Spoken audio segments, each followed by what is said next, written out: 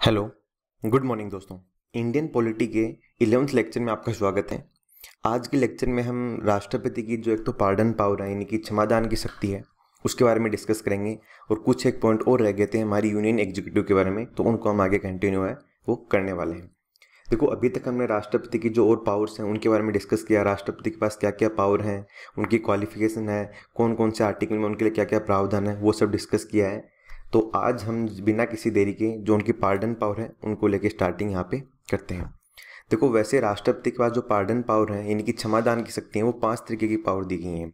जिसमें एक तो होती है कंप्लीट पार्डन एक होती है लघुकरण, यानी कि कम्यूटेशन तीसरी होती है रेमिशन जिसे हम परिहार बोलते हैं हिंदी में, फिर चौथी आती है रेस्पाइट जिसे हम विराम, और पांचवी होती है लास्ट वो होती है रेप्रियो यानी कि प्रति प्रविलंबन क्या है इनके बारे में एक एक हम यहाँ पे डिस्कस करने वाले हैं। काफ़ी इंपॉर्टेंट ये पावर हो जाती हैं। यूपीएससी ने कई बार इन पे इर्द गिर्द दाएँ, बाएँ, इधर उधर से भी क्वेश्चन है, वो पूछे हैं। एक सेकेंड हाँ। देखो, सबसे पहली बात तो आपको ये ध्यान रखनी है कि जो हमारा संविधान का आर्टिकल सेवेंटी टू है ना, वो राष्ट्रपति को यह पावर देता है कि भाई राष्ट्रपति अपनी पार्डन पावर का यूज़ है, वो कर सकते हैं। बेसिकली तीन पैरामीटर हैं इसके। एक तो ये है कि सुप्रीम कोर्ट का कोई वर्डिक्ट यानी कि हम बात करें कि जो हमारी यूनियन गवर्नमेंट है, उसके विरुद्ध किसी भी आदमी ने काम किया है और उस सज़ा को अगर मतलब माफ़ करना हो, क्षमादान का काम हो तो वो राष्ट्रपति कर सकते हैं। इसके साथ ही सैन्य अदालत, यानी कि जो कोर्ट मार्शल वगैरह होते हैं, इनके अगेंस्ट भी अगर हमें क्षमादान की शक्ति का यूज़ करना है तो वो राष्ट्रपति कर सकते हैं। और तीसरी बात जैसी है कि दंड का स्वरूप मृत्युदंड हो मतलब कि किसी आदमी को फांसी की सजा, यानी कि मृत्युदंड दे, सुनाया गया हो कोर्ट के द्वारा तो उस कंडीशन में उसे कंप्लीट माफ़ करने की पावर है, वो राष्ट्रपति के पास होती है। और हम ये भी डिस्कस करेंगे कि राष्ट्रपति और राज्यपाल की इस पावर में क्या क्या डिफरेंस है, वो डिफरेंस भी हम आगे कवर करने वाले हैं। तो देखो, पहली पावर होती है, वो होती है पार्डन या कंप्लीट पार्डन के नाम से भी इसे जाना जाता है, यानी कि क्षमा। यानी कि जो भी आपने क्राइम किया ना, उसको पूरी तरीके से माफ़ कर दिया गया है। जैसे कि मान लो कि किसी भी आदमी को उसने कोई भी चोरी की हुई मान लो, और उसको कोई भी दंड दिया गया हो, और अगर राष्ट्रपति उसको पार्डन या क्षमा मतलब पावर दे देते हैं, या क्षमा के तहत उसकी जो क्राइम था, उसको नल कर देते हैं। इसका मतलब ये हो गया कि उस इंसान ने वो एक तरीके से कोई क्राइम किया ही नहीं है। मतलब वो एकदम फ्री है, उसके ऊपर कोई भी आरोप प्रत्यारोप कुछ नहीं है, यानी कि सब खत्म हो गया। इसके बाद में दूसरी यहाँ पे आती है, वो आती है कम्यूटेशन यानी कि लघुकरण। देखो, यहाँ पे आपको ध्यान रखना है, थोड़ा वर्ड पे बड़े फोकस करना आप। लघुकरण या कम्यूटेशन का मतलब ये होता है कि दंड का जो स्वरूप है ना, उसको कम करना है। जैसे ये मान लो कि किसी भी आदमी को मृत्युदंड दे दिया गया है, या मान लो कि फांसी की सज़ा दे दी गई है तो क्या होगा? उस आदमी का जो फांसी की सज़ा है ना, उसको ये मान लो कि या तो उम्र कैद में तब्दील कर दिया जाएगा, या फिर यह है कि उम्र कैद के थ्रू उसको जैसे कि नॉर्मल जेल दे दी जाएगी, इस तरीके से कन्वर्ट करना है, ठीक है? ये तो है लघुकरण। इसके बाद में आती है परिहार। परिहार यानी कि रेमिशन देखो रेमिशन का मतलब ये होता है कि जो दंड का नेचर था ना जैसे कि मृत्युदंड दिया गया है तो उस नेचर को ही एक्चुअली मृत्युदंड तो देखो इसमें तो हो ही नहीं सकती है परिहार। बाकी और केसेस में हो सकती है। मतलब जो नेचर है उसको कम कर दिया जाएगा। जैसे कि किसी को ये मान लो कि 10 साल की कठोर कारावास की सजा सुनेगी कि भाई आपको 10 साल सश्रम कारावास है। इसका मतलब ये हो जाएगा, परिहार अगर पावर यूज़ की जाती है तो उसको पाँच साल की कठोर कारावास हो जाएगी, दो साल की हो जाएगी, एक साल की। यानी कि उसकी सज़ा का नेचर क्या था? कठोर कारावास तो वो चेंज नहीं होगा। ये ध्यान रखना है। जबकि लघुकरण में क्या होता है, जो नेचर होता है, वो भी यहाँ पे चेंज हो रहा होता है। जैसे कि उसको, ये मान लो कि कठोर कारावास की सज़ा थी तो वो उसको नॉर्मल जेल की सज़ा हो सुना दी जाएगी। इस तरीके से कन्वर्ट होती है। तो इन दोनों में बेसिक डिफरेंस ये है। एक बार आपको फिर बता देता हूँ। लघुकरण में ये होता है कि जो नेचर है ना, कि दंड का जो स्वरूप है, उसको कम कर दिया जाता है। जैसे कि मृत्युदंड है तो उसको कठोर कारावास में या फिर नॉर्मल जेल में उसको तब्दील कर दिया जाता है। जबकि परिहार में ये होता है कि भाई साहब, आपको कठोर कारावास की सज़ा सुनाई है ना तो कठोर कारावास ही रहेगा। बस ये कि वो दस साल से पाँच साल कर दिया जाएगा, दो साल, एक साल, या फिर आपको सैश्रम कारावास सुनाया गया है तो आपको नॉर्मल जेल में डाल दिया जाएगा दो महीने, पाँच महीने से, इस तरीके से। फिर आता है विराम रेस्पाइट विराम का क्या मतलब है? इसका देखो, ये है मेनली कि जो भी दोष है, जिस भी आदमी ने कोई क्राइम किया है ना, उसकी सज़ा को कम किया जा रहा है, उस पर थोड़ा विराम दिया जा रहा है। कैसे? जैसे कि मान लो कि कोई आदमी फिजिकली हैंडीकेप्ट है और उसको सैश्रम कारावास दिया गया है भाई उसको ऐसा काम दे दिया गया कि वो कर ही नहीं सकता फिजिकली हैंडीकेप्ट है तो तो इसलिए ऐसे केस में जो मतलब मेथड यूज़ किया जाता है, वो होती है विराम या रेस्पाइट या फिर हम बात करें कि कोई वुमेन है, उसको सज़ा सुना दी गई है जेल में और जबकि वो प्रेग्नेंट है तो उसको सज़ा में छूट दी जाती है तो वो होती है विराम। तो ये आपको ध्यान में रखना है। कि कुछ स्पेशल केस में उनकी सज़ा को कम कर दिया जाता है। तो ये आपको ध्यान में रखना है, जैसे कोई आदमी लंगड़ा, लूला मतलब सॉरी ऐसा तो नहीं बोल सकते, यानी कि फिजिकली हैंडीकेप्ट हो ऐसे केस में नॉर्मली इसके बाद में लास्ट आती है हमारी रेप्रयोग यानी कि प्रविलंबन। प्रविलंबन का मतलब ये है कि भाई जो भी आपको सज़ा सुनाई है ना, इस पर टेम्प्रेरी रोक लगाई जाएगी। यानी एक तरीके से आप बोल सकते हो कि सस्पेंड टाइप की, कि थोड़े टाइम के लिए होल्ड कर दिया जा सकता है।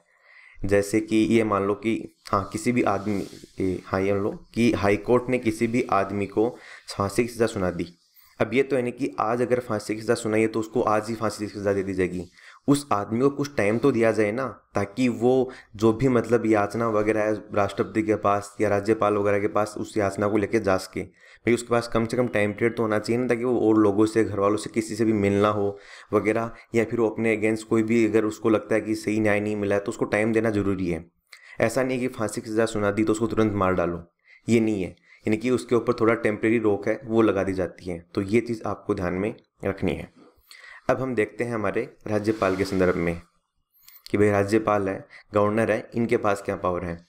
देखो, गवर्नर को वैसे आर्टिकल 161 के तहत ये पावर दी गई है। राष्ट्रपति को दी गई है 72 राज्यपाल को दी गई है 161 बस आपको थोड़ी सी चीज़ों का ध्यान रखना है। जैसे दो स्पेशल केस हैं, वो आप याद रखना राज्यपाल के लिए। एक तो देखो, राज्यपाल है ना, जो भी सैन्य अदालत, यानी कि जो कोर्ट मार्शल वगैरह हुआ हुआ है उसकी सज़ा के अंदर कोई भी अंगुली नहीं कर सकता। क्यों? क्योंकि आपको पता है कि डिफेंस का जो मामला है, वो सेंट्रल गवर्नमेंट के अंतर्गत आता है। यानी कि डिफेंस संबंधी जो भी कुछ है तो उस पर देखा जाए तो राष्ट्रपति कुछ कर सकता है, राज्यपाल के हाथ में नहीं है। क्योंकि राज्यपाल तो स्टेट के अंदर का सीन है तो इसीलिए ये ध्यान रखना कि सैन्य अदालत से कोई भी सजा सुनाई गई है किसी को तो उस पर राज्यपाल कुछ नहीं कर सकते। कुछ भी नहीं कर सकते। वर्ड ध्यान रखना, राज्यपाल उसमें हस्तक्षेप कर ही नहीं सकते। इसके बाद में एक ही है, किसी भी आदमी को मृत्युदंड दे दिया गया है।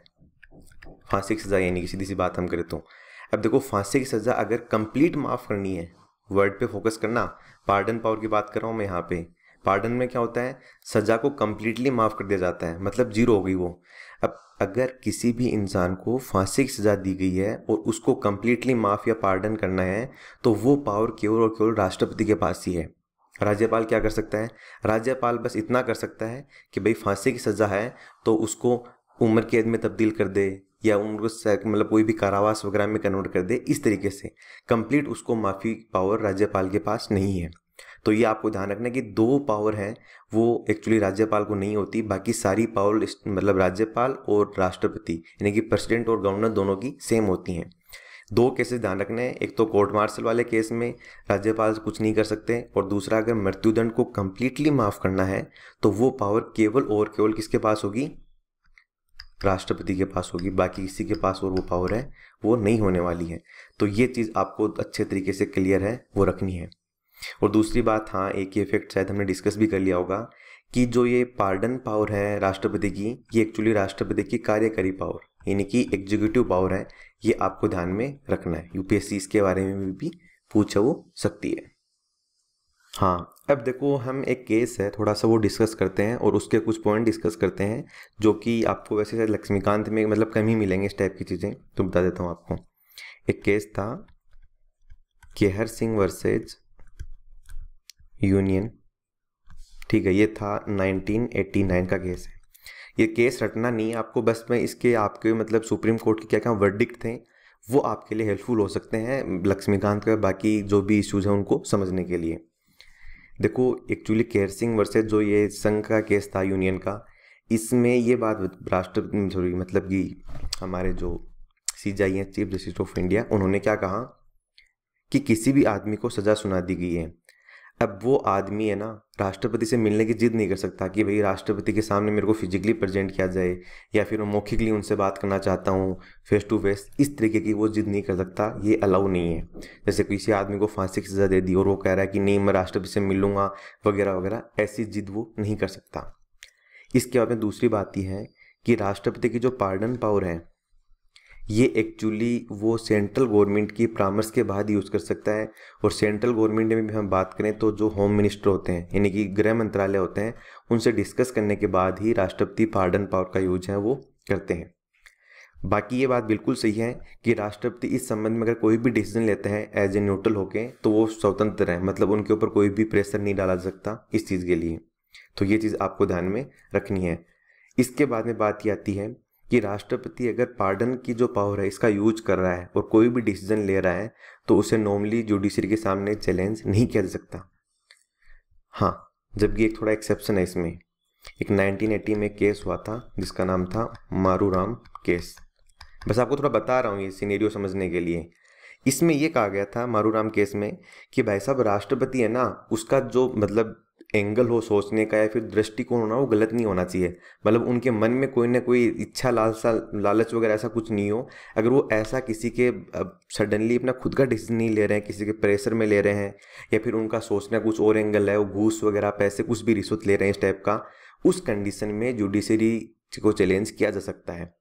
मतलब नॉर्मली अगर वो डिसीज़न ले रहे हैं तो फ्री है, कोई दिक्कत नहीं है। बट अगर वो कहीं ना कहीं उनका एंगल गलत है, या फिर वो पक्षपात कर रहे हैं, कुछ भी ऐसा इशूज है, उस केस में राज्यपाल सॉरी जो राज्यपाल के यहाँ हाई कोर्ट सुप्रीम कोर्ट में एक्चुअली इसको चैलेंज है, वो किया जा सकता है। तो ये चीज़ आपको ध्यान में रखनी है।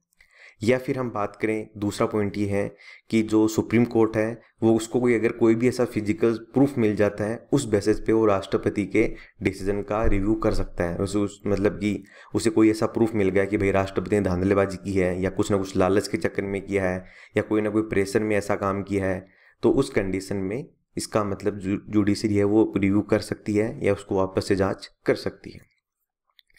तो ये आपको कुछ फैक्ट मैंने बताए अब कुछ और फैक्ट हैं उनको हम कवर करते हैं।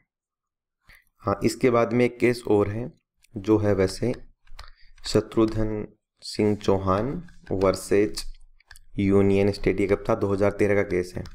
इस केस में देखो, सुप्रीम कोर्ट ने ये कहा कि अगर भाई राष्ट्रपति और राज्यपाल के पास कोई भी सजा वाला आदमी जाता है मतलब कि उसने अपनी याचिका दायर की है कि भाई आप हमारी सज़ा कम कीजिए, माफ़ कीजिए वगैरह जो भी है और उस केस में अगर राष्ट्रपति और राज्यपाल दोनों जानबूझ के टाइम ले रहे हैं मतलब कोई वैलिड रीज़न नहीं है, फिर भी वो टाइम जानबूझ के वेस्ट कर रहे हैं या कोई स्टेप नहीं उठा रहे हैं तो उस कंडीशन में न्यायालय के पास ये पावर है कि वो उस सज़ा को कम कर सकता है या फिर उसका लघुकरण कर सकता है।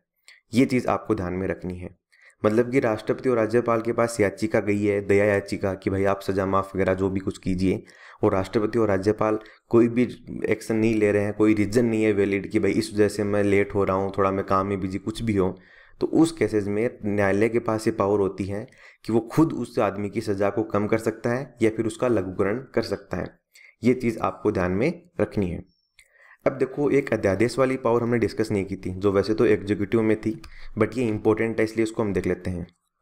राष्ट्रपति के पास देखो, जो अध्यादेश है, वो जारी करने की पावर होती है, और ये होता है आर्टिकल 123 के तहत one two three article one two three के तहत राष्ट्रपति हैं, वो अध्यादेश जारी करते हैं। अब पहली बात तो ये कि अध्यादेश किस पे जारी कर सकता है?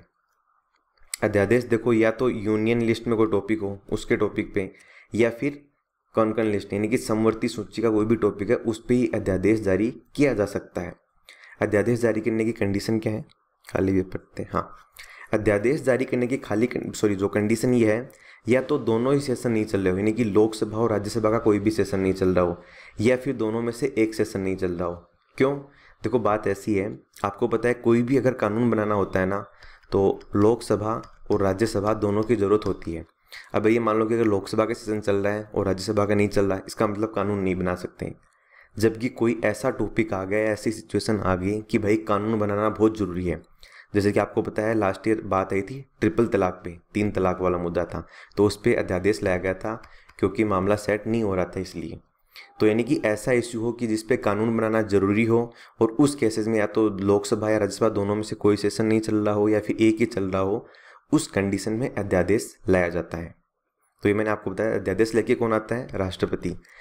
अध्यादेश का सीधा सा मतलब ये होता है, एक तरीके का कानूनी होता है बट वो उसका एक टाइम पीरियड होता है, वो उसी टाइम पीरियड तक वैलिड होता है, इसके बाद में अपने आप ख़त्म हो जाता है, ऐसी इसकी कुछ कंडीशन होती हैं। तो सबसे पहले हम टाइम पीरियड की बात करते हैं। देखो, आपको पता होगा कि कम से कम पार्लियामेंट कॉन्स्टिट्यूशन में प्रावधान किया गया है कि पार्लियामेंट के एक साल में दो सेशन तो कम से कम होने चाहिए। खैर, वैसे तीन होते हैं, वो लगवाता है बट कम से कम दो का तो प्रावधान किया गया है। और उसमें प्रावधान क्या है कि छः महीने से ज़्यादा गैप नहीं होना चाहिए। मतलब कि छः महीने में एक सेशन तो पार्लियामेंट का कंपलसरी ही है, होना ही होना चाहिए। ठीक है जैसे तो इंडिया में तीन कौन से होते हैं? एक तो होता है बजट एक समर और एक विंटर इस तरीके से तीन होते हैं। और कॉन्स्टिट्यूशन में प्रावधान क्या किया गया है कि कम से कम दो तो होने चाहिए, बाकी आप पाँच छः चाहिए जितनी मर्ज़ी आप कर सकते हो, कोई नहीं रोकने वाला आपको। ये चीज़ आपको ध्यान में रखनी है। अब यानी कि दो सेशनों के बीच में कितने टाइम पे होता है? छः महीने का। तो अध्यादेश की वैसे पावर होती है होती है छः महीने। बट आपको अगर यूपीएससी में पूछा जाए कि कंप्लीट पावर अध्यादेश का कितना टाइम पीरियड होता है मतलब कि अध्यादेश कब तक वैलिड होता है तो अध्यादेश छः महीने तक तो है ही है। इसके बाद में सेशन स्टार्ट हो जाएगा, आपको पता है करना ही पड़ेगा एट एनी कोस्ट संसद में। और अगर सेशन स्टार्ट हो रहा है तो उसमें भी छः वीक का टाइम दिया जाता है। क्योंकि ये ज़रूरी थोड़ी कि सेशन स्टार्ट होती है, सबसे पहले उसी टॉपिक पर डिस्कस की जाए। सेशन तो महीने, डेढ़ महीने दो दो महीने तक भी चल सकते हैं तो उसमें भी छः वीक का टाइम दिया गया है।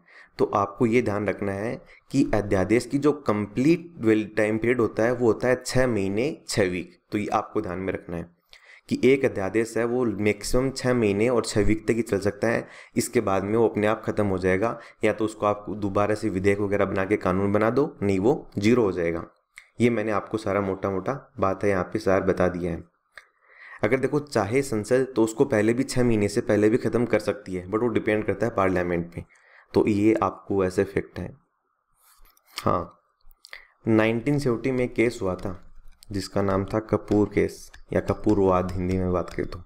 इस कपूरवाद में सुप्रीम कोर्ट ने ये सिस्टम मतलब सेट किया कि अगर भाई राष्ट्रपति की मंशा सही नहीं है ना, कि राष्ट्रपति गलत इरादों से अगर अध्यादेश लेके आ रहा है तो उस कंडीशन में राष्ट्रपति के जो अध्यादेश जारी करने की जो पावर है ना, इसको सीमित किया जा सकता है, यानी इस पर लिमिट लगाई जा सकती है, या फिर इस पर रिव्यू या इसका जाँच है वगैरह की जा सकती है। तो ये फैक्ट आपको ध्यान में रखना है, क्योंकि ये फैक्ट आपको यूपीएससी में भी पूछ सकती है।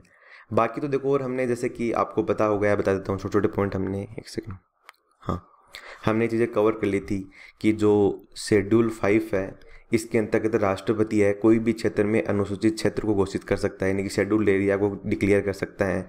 और अगर वहाँ पे आदिवासी या ट्राइबल लोग हैं तो उस ट्राइबल एरिया को भी डिक्लेयर कर सकता है। और ये पावर है, वो राज्यपाल को भी आपको बता दी गई है कि राज्यपाल भी अपने राज्य में कुछ ऐसे एरिया हैं जहाँ पे शेड्यूल्ड एरिया शेड्यूल्ड ट्राइब रहती हैं, उनको मतलब वो एरिया डिक्लेयर कर सकता है। और वहाँ के प्रशासन के लिए, वहाँ की जो लोकल कम्युनिटी है, उनको राइट्स दे सकता है। जैसे कि नॉर्थ में आपको पता है कि वहाँ पे जो ट्राइबल एरिया है, वहाँ पे उनके लिए अलग से बॉडी बनाई जाती है, जो खुद को ही गवर्न करती है। तो इस तरीके के वहाँ पे पावर है, वो दी जा सकती हैं। ऐसा इसलिए किया गया है कि वह ट्राइबल एरिया हैं, उनके राइट को प्रोटेक्ट किया जा सके, उनका जो कल्चर है, इनको सबको संभाल के रखा जा सके। इसी के साथ ही अगर हम बात करें तो लक्षद्वीप हुआ, दादर नगर, हवेली, अंडमान, निकोबार द्वीप समूह है। यहाँ पे भी राष्ट्रपति आपको पता है कि प्रशासन के लिए गाइडलाइंस वगैरह जारी कर सकता है। ये वगैरह पॉइंट हमने कर डिस्कस किए थे।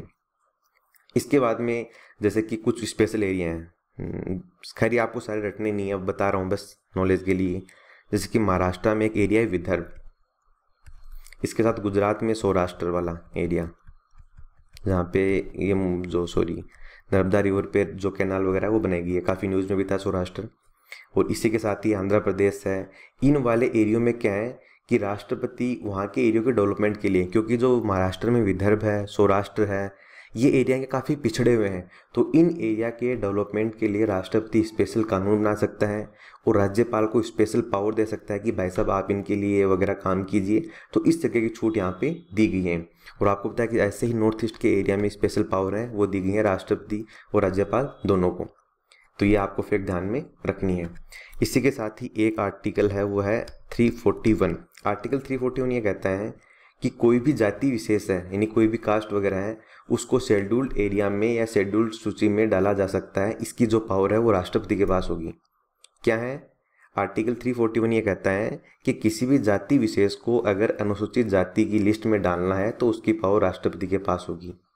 इसी तरीके से अगर अनुसूचित जनजाति है, यानी कि शेड्यूल्ड ट्राइब है उसको भी अगर लिस्ट में डालना है तो वो पावर होती है आर्टिकल 342 के तहत। यानी कि शेड्यूल्ड जो सॉरी शेड्यूल्ड कास्ट है, इसके लिए तो आर्टिकल है 341 और शेड्यूल्ड ट्राइब अगर डिक्लेयर करनी है तो उसकी पावर है 342 के तहत राष्ट्रपति के पास।